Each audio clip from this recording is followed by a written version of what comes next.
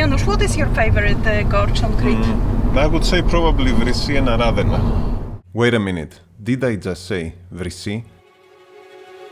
Crete is famous for its top-notch beaches, but it's also a hiker's paradise. Hundreds of hiking paths in gorges, canyons, or by the sea.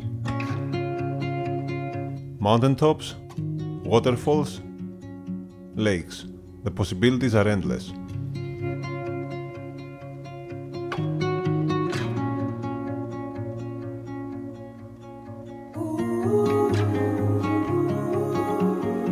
Samaria, Imbros, Aradena Gorges, and the E4 paths are some of the known options. But there is a specific hike, one of the most beautiful and wild hikes in Crete, just 30 minutes from Chania, which is completely unknown to most people. There are actually only a few videos on YouTube and a handful of websites mentioning it. In this video, we will be showing you how to get there, where to start from, and what the path looks like. The hike starts from the village of Lakkoi,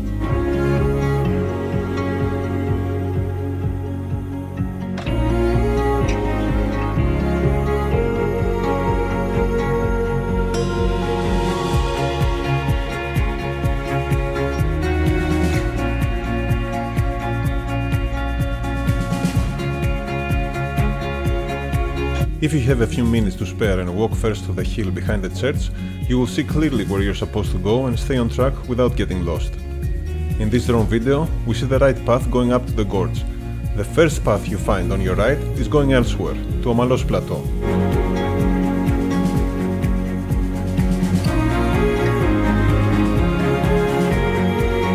Then, you can park your car and follow the blue-red marks down the stairs. This is where the path starts.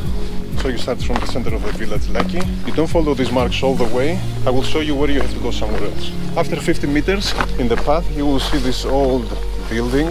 Immediately, you make a left down there. The path is not very clear and it's not very convincing, but this is the one.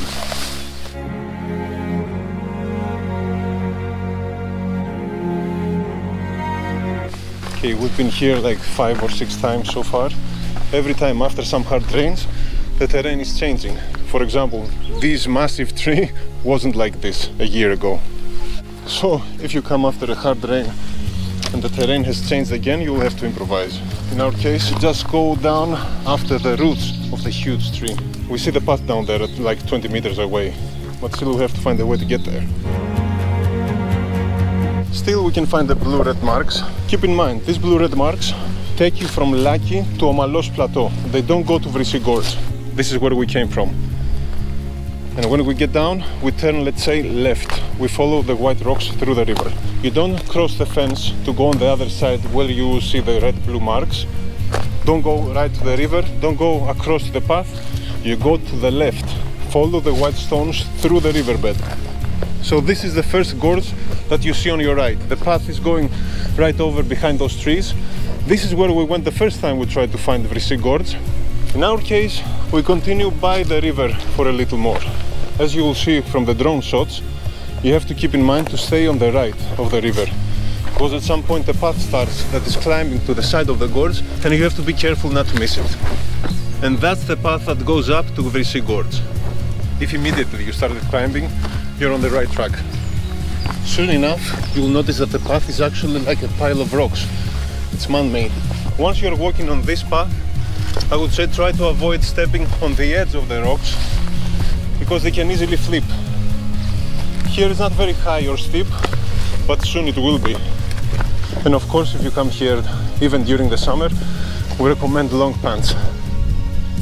Down there is the river that we were walking earlier.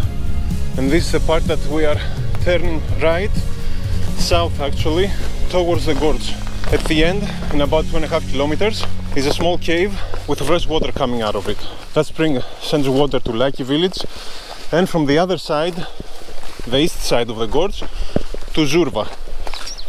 The path is not marked, but you cannot miss it. Also keep in mind that most of the time you will be seeing pipes. The pipes that are bringing the water down to Lakkoi.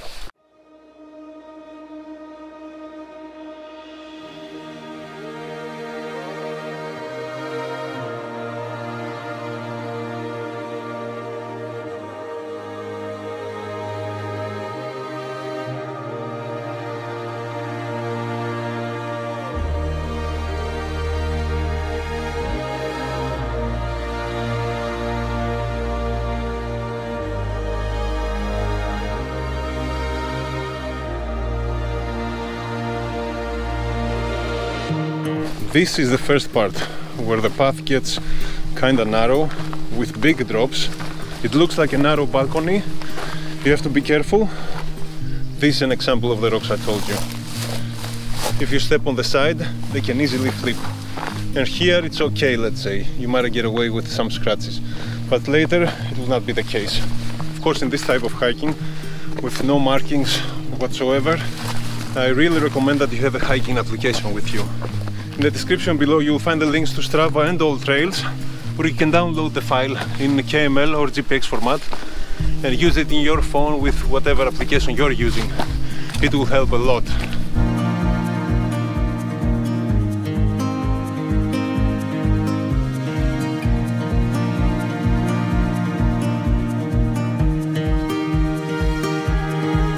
After you finish the part that you've been working for around, I don't know, 45 minutes or an hour, that is like narrow and a balcony with a drop on your left, you will get to this more open space.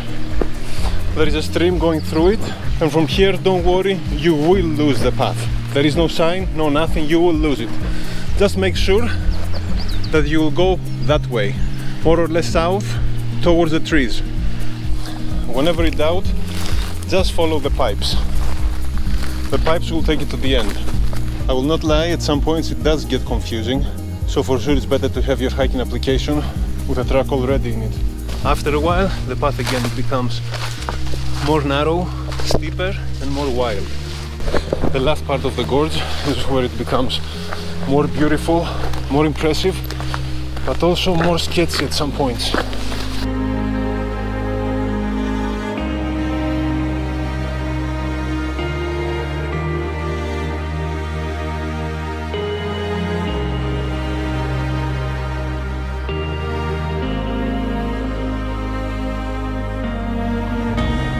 Path is getting very narrow and there's no room for mistakes because by now we are very high.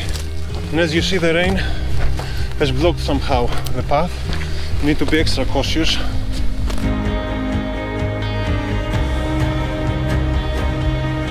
And this is one of the two sketchy points, if I may say, of the path.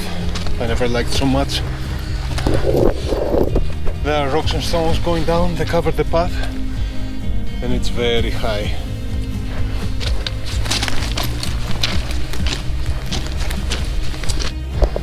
And it looks we are unlucky.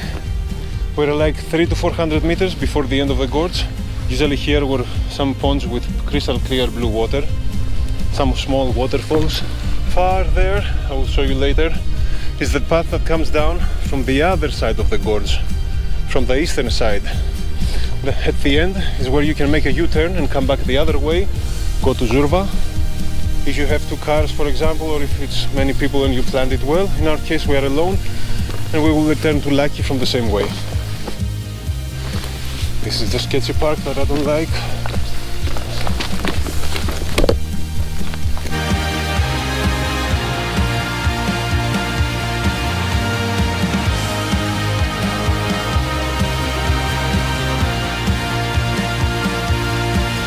On the other side you see clearly the path that leads from the spring and the end of the gorge towards Zourva.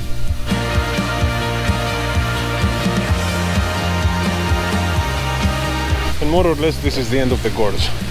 If you're willing to jump in the water, to cross to the other side and climb to the cave, by all means. Now a tip in case you have planned this beforehand and you have left the car in Zourva and you want to make the U-turn and you want to come back the other side towards Zourva, I would say don't start the path from here. As you can see it's very narrow, very low and I don't like it at all. What we did instead was this. So on the side coming from Lakkoi, just before you get to the end, to the U-turn if you will, we climb down this small rock, we get down to the riverbed, and we walk up that ramp that you see over there. And then you can we can take the path.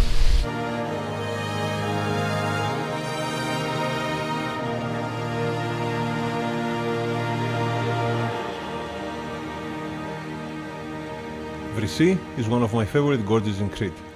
I hope you have the chance to explore it one day. If you have been there already or have any question, you can leave a comment in the comment section below. If you found this video helpful, you can press the like button and make sure you subscribe for more videos from Crete or our trips around the world. Thank you for watching, see you next time.